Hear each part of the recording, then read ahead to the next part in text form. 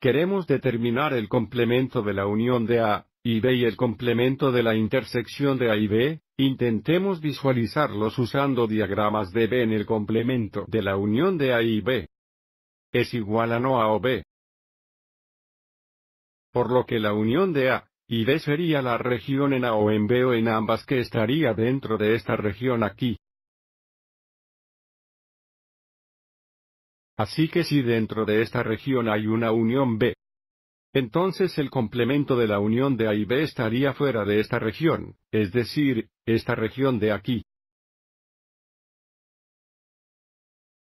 Y ahora consideremos el complemento de la intersección de A y B, que de nuevo es lo mismo que no es A y B, primero consideremos una intersección B. En el diagrama de Venn, esta sería la región superpuesta de A y B dentro de esta región aquí, así que si dentro de esta región hay una intersección B, entonces, el complemento de la intersección de A y B estaría fuera de esta región, es decir, esta región de aquí.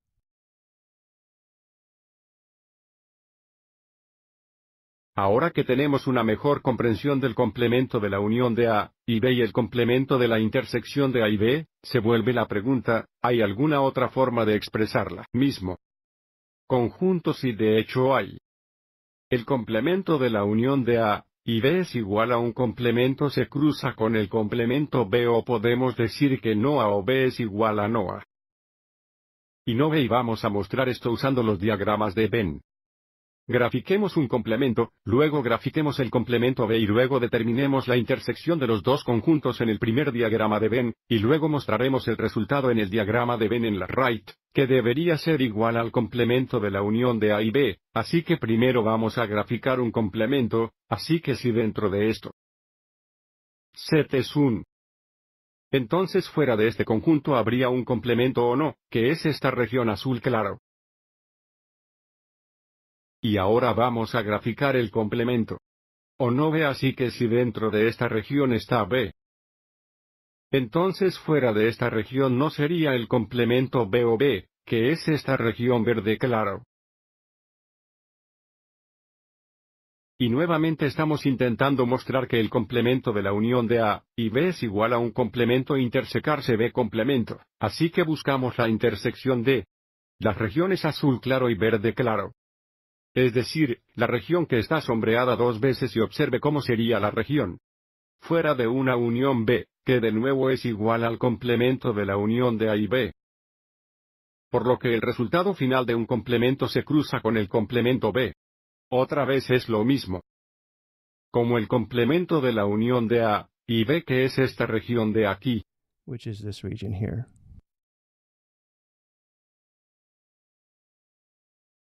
Y esta es en realidad la primera ley de De Morgan. La primera ley de Morgan establece que el complemento de la unión de A y B es igual a un complemento que se interseca B. Ahora queremos determinar una segunda forma de expresar el complemento de la intersección de A y B y, una vez más, esto se puede hacer.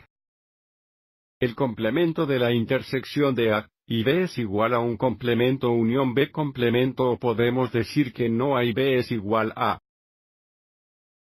no A o no B otra vez sigamos adelante, y mostremos esto usando los diagramas de Van de arriba una vez más, grafiquemos un complemento, luego el complemento B y luego determinemos la unión a partir del diagrama de Venn. Así que, una vez más, un complemento es la región fuera de A, que una vez más es esta región y ahora vamos a graficar B. Complemento que sería la región fuera de B. Que es esta región de color verde claro. Que es esta región de aquí, pero esta vez estamos buscando un complemento unión B complemento que significa no A o no B. Que sería la región sombreada una o dos veces, que es toda la región excepto la región dentro de la intersección de A y B, por lo que esto sí muestra que un complemento unión B complemento es igual al complemento de la intersección de A y B que una vez más sería esta región aquí,